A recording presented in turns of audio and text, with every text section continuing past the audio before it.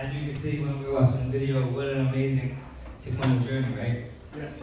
So, I just want to share a few words about Jessica. you know, what can I say about Jessica that no one already knows? Uh, she is a standard for how all our students should model. She is the leader we should all strive to be. She is the strength we wish to find in ourselves.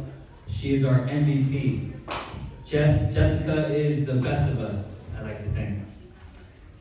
She has been an integral part of what we do here, and she is embedded in our culture. She's what we call a culture changer. Anywhere she goes, I know the place will be better for her, and she will immediately be a voice for good. She is everything that is right in the world. I cannot speak highly enough of her person and the qualities that make her up. She exudes confidence, humility, grace, and goodness.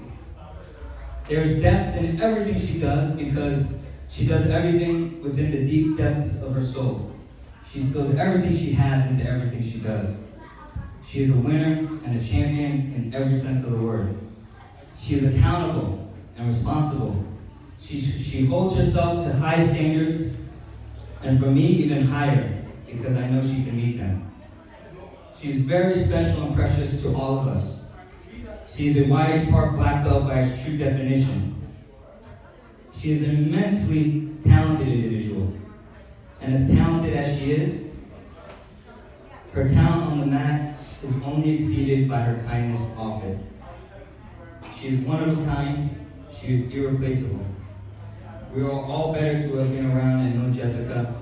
She is our pride and joy here at YH Park Taekwondo Academy. Congratulations, Jessica.